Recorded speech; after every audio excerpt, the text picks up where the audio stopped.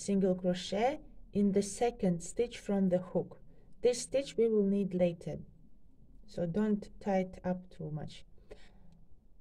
Crochet hook in the second. Pull out the loop. One single crochet. Two single crochet. And single crochet until we get to the last stitch. We are almost there. The last single crochet. And before turning on the other side in this stitch we do three single crochets in the same stitch. One two three this yarn tail we hide along the way. And now you can see the other half loops of the chain. And we crochet back single crochet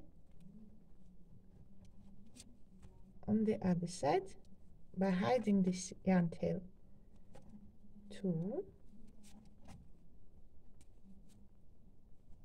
crochets until this very mm, last stitch which we skipped. And now we come to the corner. Remember this one stitch we skipped at the beginning? It is like in the very very corner here. And in this stitch we will do three single crochet. This will be our second corner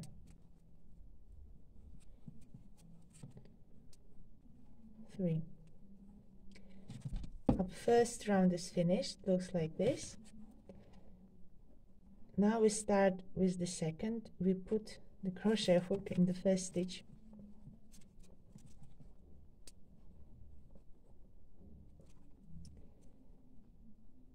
And now here we can put marker.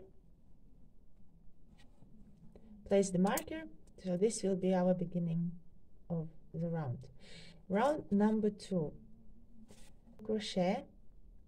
Until we get to these turning stitches yeah in the corner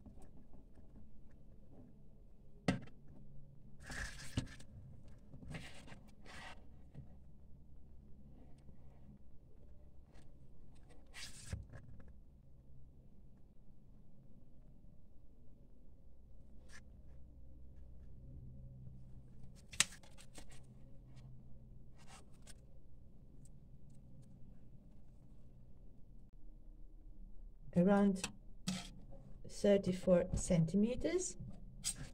And the width is around 5 centimeters. Yeah as you can see. Now you can a little bit iron steel with iron. No, I do slip stitch next okay? Um, now I do chain two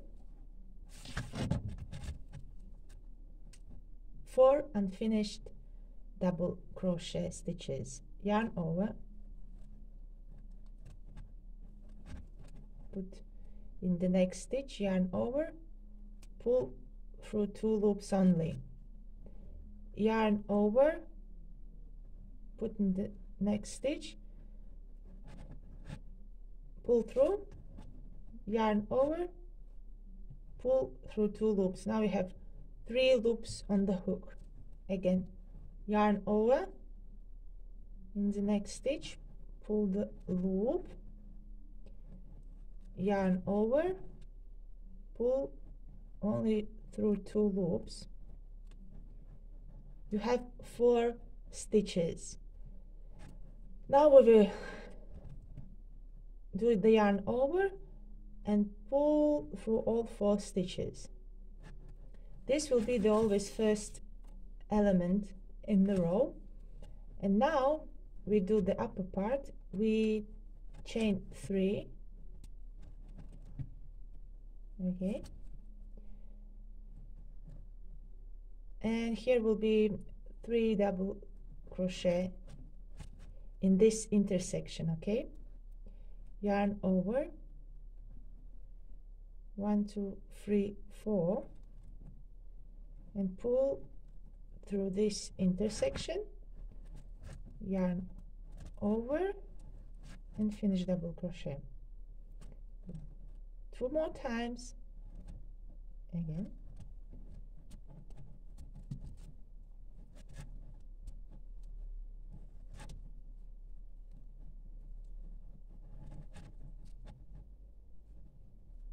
Again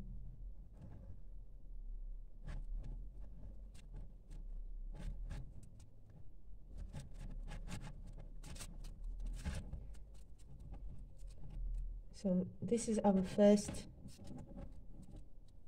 element ready. Yarn over three times. Put in the next stitch. We will do four unfinished double crochet. Pull the loop through yarn over pull only through two loops. Again yarn over. Next loop next stitch. Pull through yarn over. Through two now we have like this. Again yarn over. Pull through yarn over.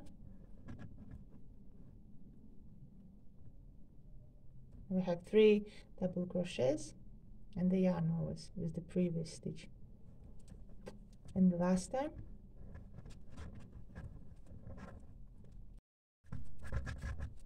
Okay now we do yarn over. But now pull through these four and finish double crochet and this one yarn over we made. Okay yarn over pull through both loops yarn over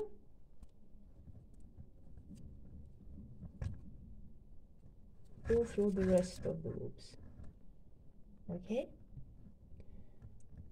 Now we will do three more double crochet in this intersection of five. Now we put under five. And I will pull through.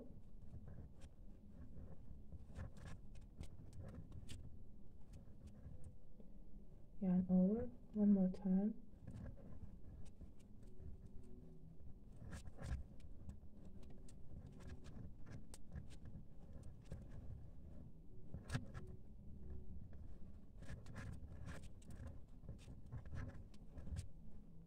and pull through yeah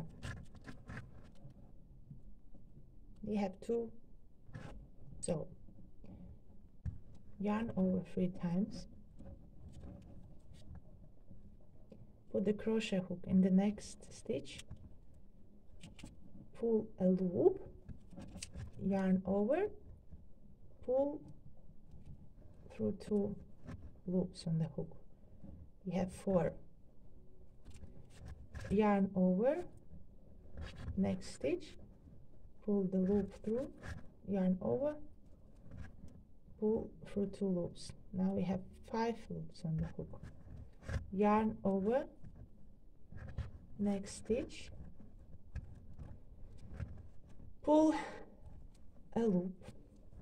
Yarn over pull through two loops. Now we have six loops on the crochet hook. Again yarn over pull the loop yarn over pull through two loops. We have four unfinished double crochets and altogether seven loops on the hook.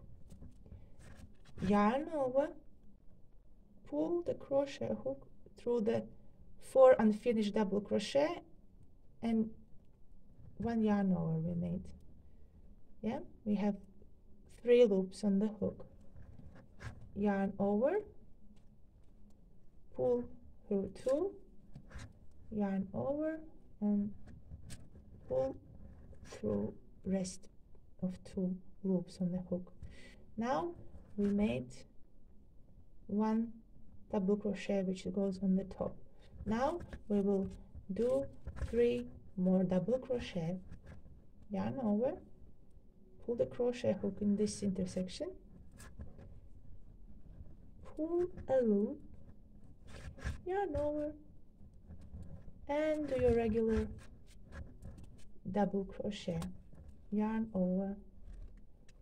Pull through these loops pull the loop. Yarn over. Finish your regular double crochet. One more is left. Yarn over.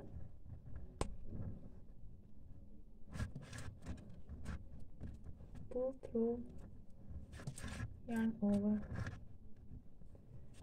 and finish the regular double crochet. So four four. And I have finished all my elements.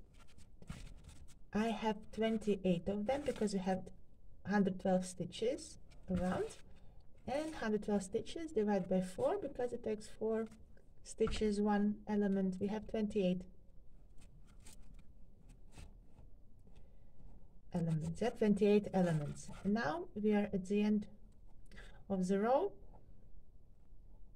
We we will do the slip stitch in the top three in the top chain three we had before. And we will start a new row by chain three. This will count as first double crochet. And now three more unfinished double crochet. Yarn over. Put in the next stitch. Pull only through the two loops. We don't finish. We have two loops on the hook. Yarn over. Put in the next stitch. Pull out the loop. Yarn over. Again pull the loop only through two loops on the hook. We are left with four. Yarn over. Again in the next. Pull yarn over and pull through both. Now we have four loops on the hook. Yarn over. Pull through four loops on the hook. And now chain three again this will count as our first double crochet. And we simply do three more double crochet in this intersection. Intersection usually does four loops. Wait. Yeah have to be careful. So yarn over and pull into the intersection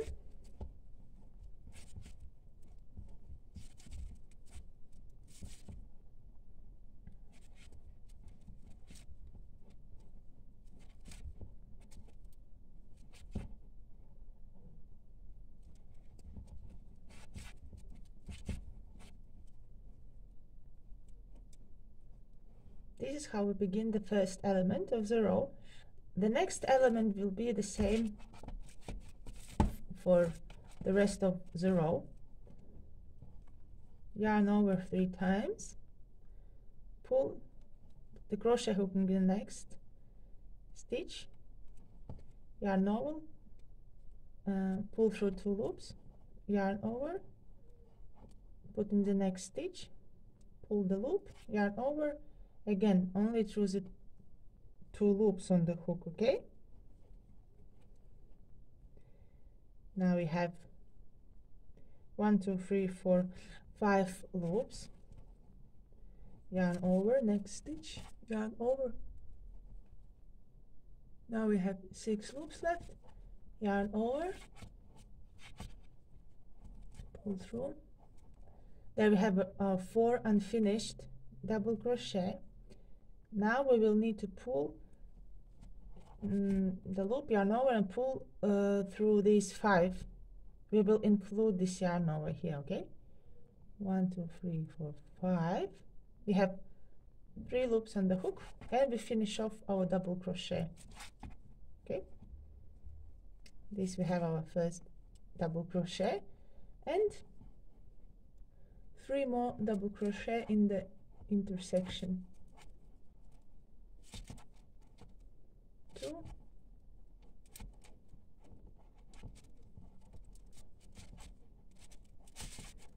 three.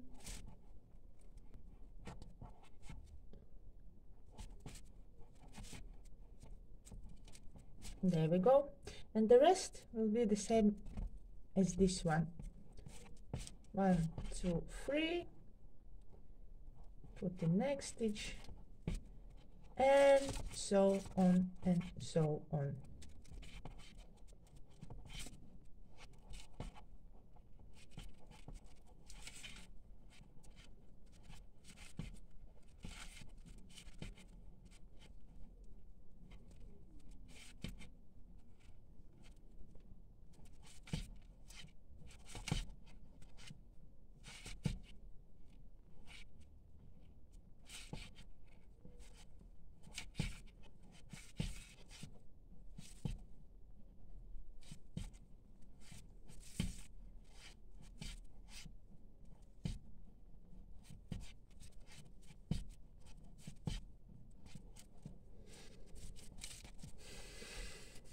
again you do the slip stitch here chain three and continue the same way until the desired height.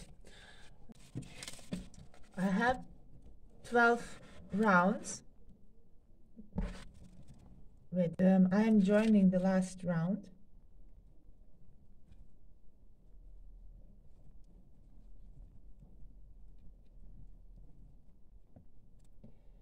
I do chain one which we count as the first single crochet because now we will working single crochet rounds.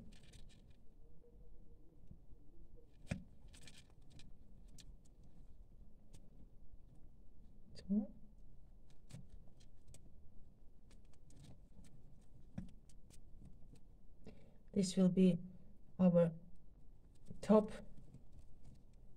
edge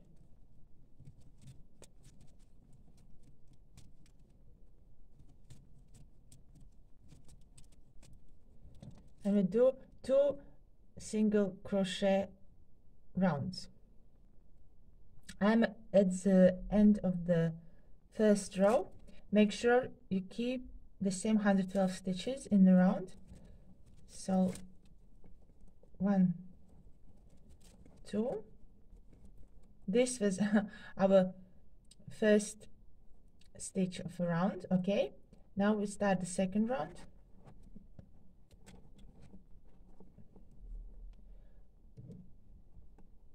we can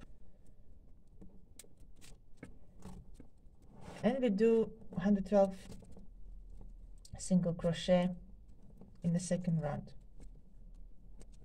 I'm about to finish the second round of the single crochet row and uh, in this part I would advise you to iron steam steam iron the back to even it out because in next row we will do the side loops for our handles.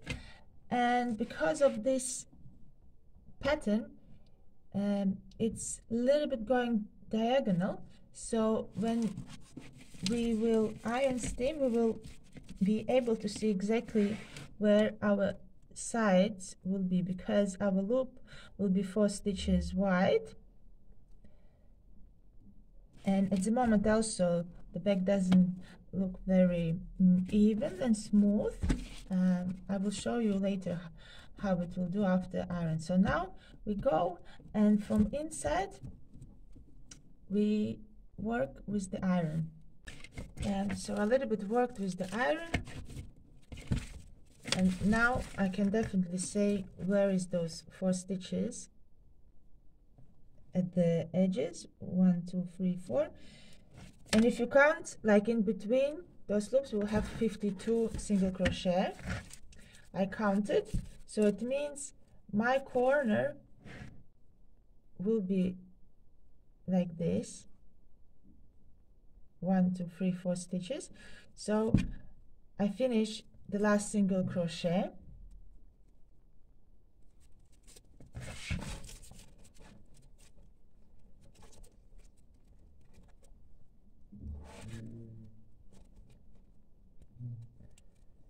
and here I will have four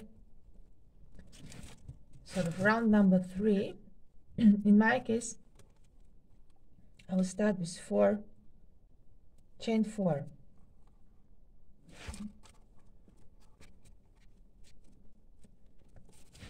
Skip four stitches one two three four. And in the fifth I do single crochet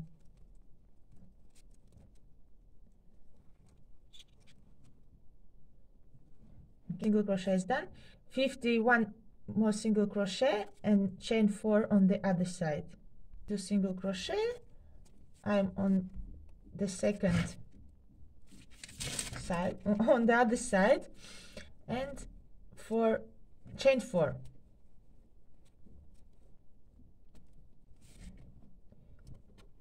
Skip four and single crochet in the next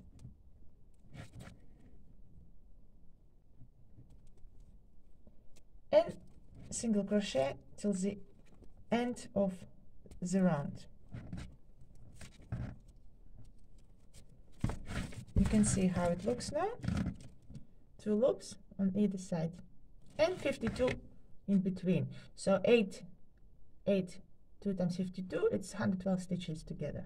We are almost finished at the finish line will be one more row single crochet row. This is the end. In the last row what we do four single crochet in this chain four arch. One two three four and now single crochet in the round.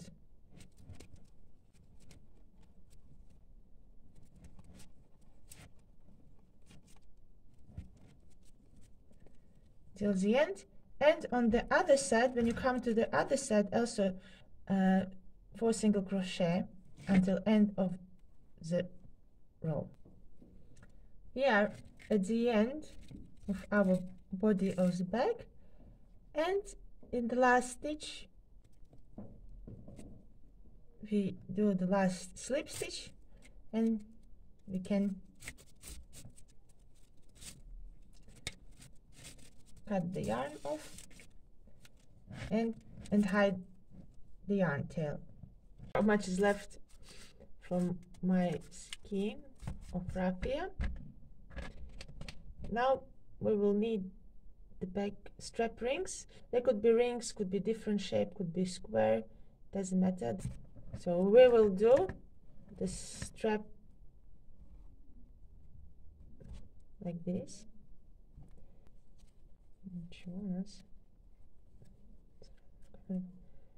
Chain 10 1 2 3 4 10 okay we take our ring put it inside ins on the chain take the bag and attach chain to this loop we made before. Now it will be a little bit uncomfortable knit around but we will manage. Uh, at the moment turn the chain with right side in and make slip stitch.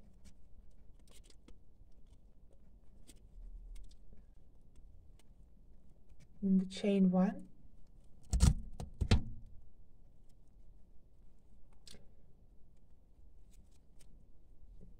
chain one we don't count as a stitch. And now when we turn you have to do 10 single crochet. You can do in these loops here but I like better to do this um, when you turn the chain on the other side there will be this little ridge here. And I will do 10 single crochets in those loops so on the other side uh, we will have this nice chain facing.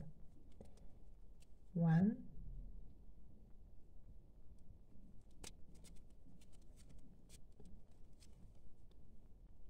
Two.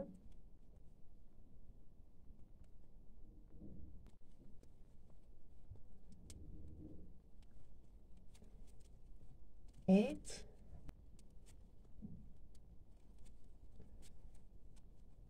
nine. And ten.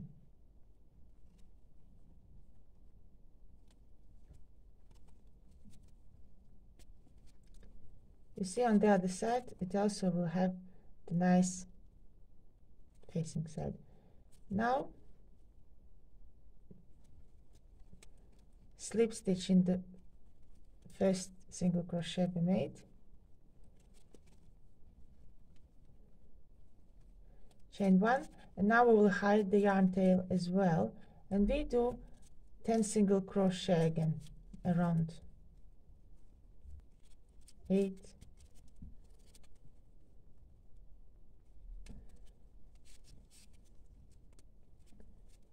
9 and 10 we can do slip stitch in the next stitch.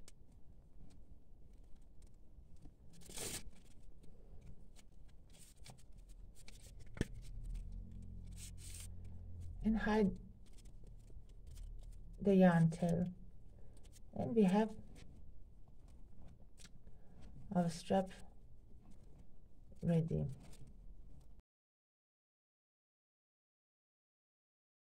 With lining it's very easy. You will need two pieces of fabric.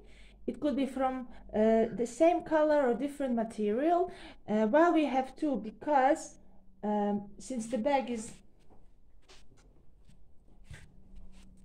pretty much like lacy, so I don't want to see the hem at the end at, on the edges. So from other side, it's like double if you want, you can use inside one color and from outside or contrasting color or the same color as the back, the same color lining, okay?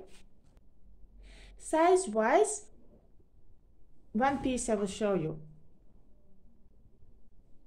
It's like double the height.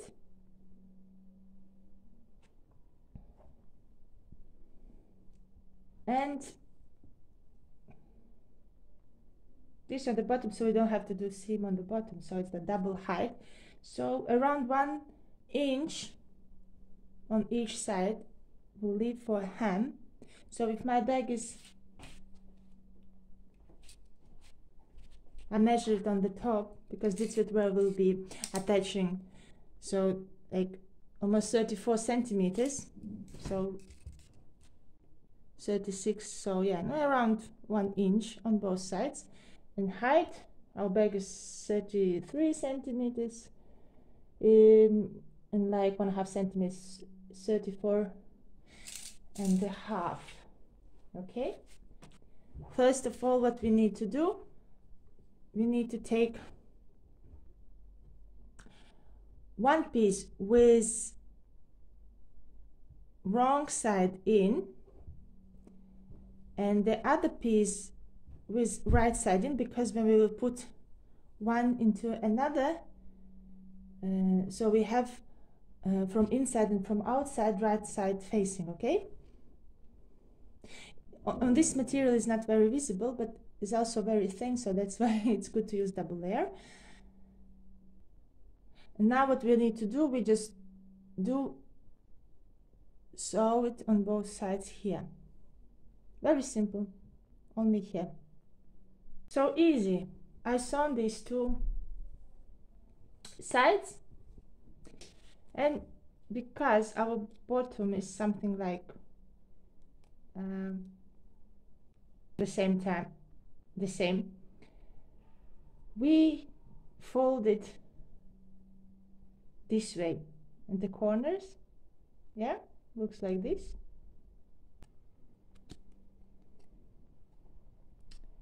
five and a half centimeters. Like to seven something like this. You do stress corner this way through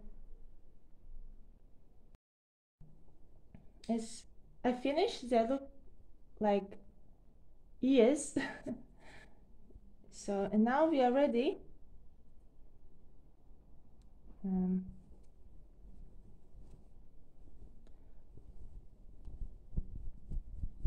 one put right side out as you can see.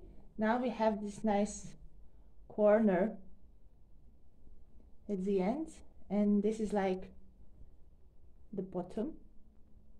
Simple huh? Now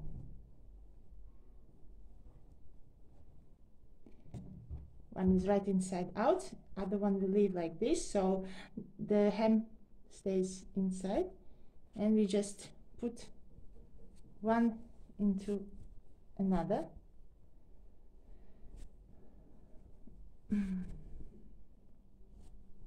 Align it nicely nicely. Be careful. Take our bag and put it inside. Already! And now what we need to do we will need to sew by hand of course. Align everything properly on the sides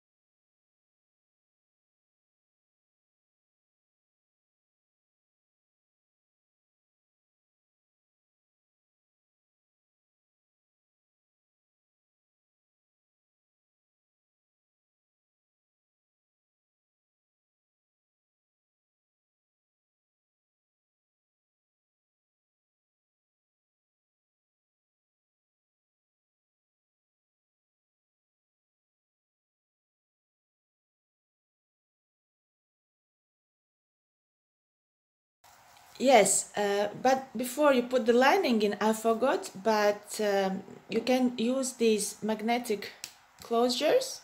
There are two different types. One is which you can sew in uh, directly, that is no problem.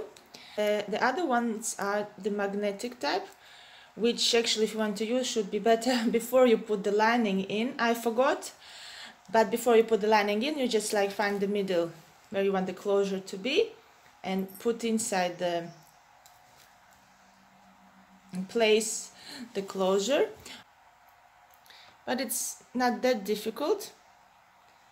You see you have these clamps and, and somehow you need to find where it will be closing together around the same heights and you just put it through.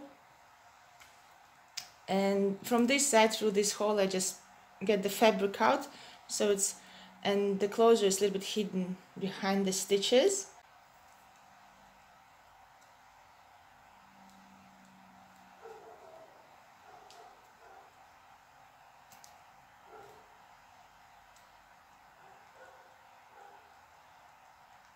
And just try to get it like